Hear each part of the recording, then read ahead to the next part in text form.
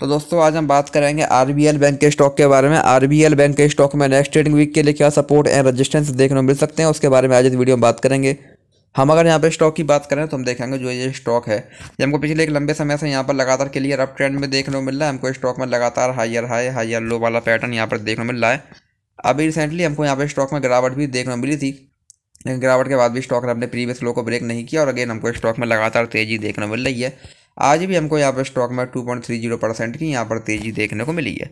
तो यहाँ से अभी हम स्टॉक में बात करें यहाँ से अगर अभी स्टॉक में और तेज़ी आती है तो ऐसे भी और तेज़ी की कंडीशन में हमारे पास यहाँ पर स्टॉक में टू सिक्सटी एट का पहला यहाँ पर रजिस्टेंस देखने को मिलेगा। अगर स्टॉक इसको ब्रेक करेगा देन या हमको स्टॉक में टू एट्टी फोर इसके बाद हमको यहाँ पर स्टॉक में थ्री हंड्रेड और अगर स्टॉक ने इसको भी यहाँ ब्रेक किया देन या हमको स्टॉक में अगेन एक अच्छी तेज़ी, एक अच्छी बैंग यहाँ पर देखने को मिल सकती है।